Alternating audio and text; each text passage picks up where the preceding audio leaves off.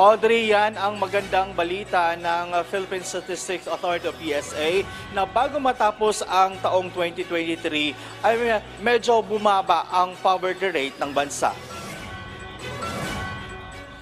Mula sa 23.7% noong 2021 na poverty rate ng bansa, bumaba ito ng 22.4%. Ibig sabihin, meron pa rin nga 25 0.24 million Pilipino ang hindi kaya makabili ng basic food at non-basic food sa unang anim na taon na 2023. At ah, sa datos lumalabas din ah, sa incident report ng Philippine Statistic Office. Sa ginawang press conference kanina Audrey kanang umaga kasama nila ang Economic and Development Authority o NEDA, sinasabi nila na malaking bagay ang pagbukas ng ah, ekonomiya ng bansa nitong 2022 sa kabila ng banta ng kalusugan ng COVID-19. Anila sa pagbubukas muli ng ekonomiya ng bansa, tumaas ang kita ng Pilipinas kahit nagkaroon ng ah, pagtaas din ng inflation rate mula sa mga services, remittances, at ah, labor force, ito ang nakapagbigay ng malaking kita sa bansa. Umaasa naman ng NEDA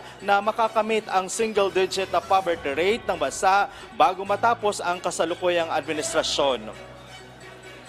Base sa datos na ito, ang poverty incidence among families ay naitala sa 16.4%.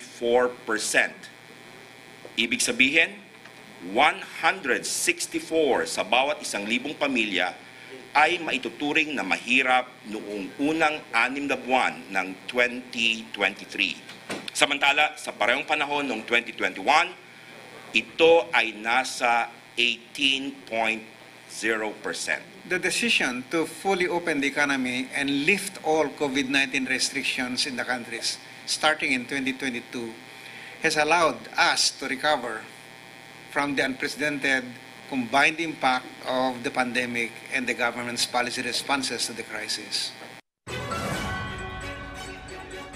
Audrey, ayon sa NEDA, kung magtutuloy-tuloy ang magandang kita ng bansa para sa second semester ng 2023, maaring mas bumababa sa 20% ang ah, poverty rate ng bansa sa second semester ng taong ito. Audrey? Okay, Noel, nabanggit din ba ng NEDA kung meron ding epekto sa poverty rate yung mga ginagawa ngayon ng Pangulong Ferdinand R. Marcos Jr. na pagpunta sa mga iba't ibang mga bansa para humikayat ng mga investors dito sa Pilipinas?